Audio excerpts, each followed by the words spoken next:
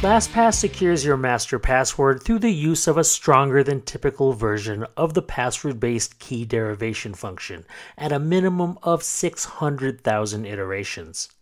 To change the iterations used for your LastPass master password on mobile, desktop, or both, you'll need to log into your LastPass Vault through a browser.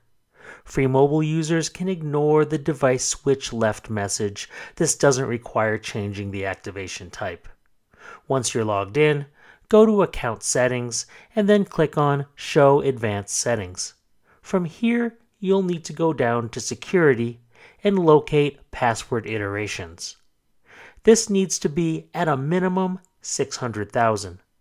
When entering a new number, don't use commas, periods, spaces, or any punctuation. Now, once you've made your changes, you'll need to update your settings and then confirm it with your LastPass master password.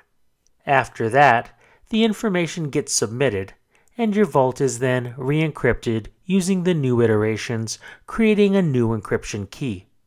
Once the process is complete, you'll be automatically logged out and will need to log in again to verify your LastPass Vault access. Alright, well that's it for changing password iterations for LastPass. To learn more about password iterations or how LastPass utilizes your LastPass master password as an encryption key, please see our help documentation at support.lastpass.com.